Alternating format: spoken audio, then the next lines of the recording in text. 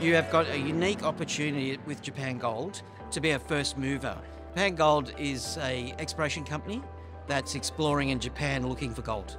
And it's only recently that they've changed the allowing foreign investment into the country. We've got a large tenement holding in two main areas in Japan. They're relatively early stage projects in areas that contain well-known gold deposits that is largely underexplored. My checklist is high-grade gold, safe political jurisdictions that are receptive to foreign investment, and where we can understand the geology and that's further supported by the fact that we have a countrywide alliance with Barrick Gold Corporation. In addition, Newmont is also a major shareholder of our company. They own 9% of our business, and we've been de-risked to really take on this, this important initiative.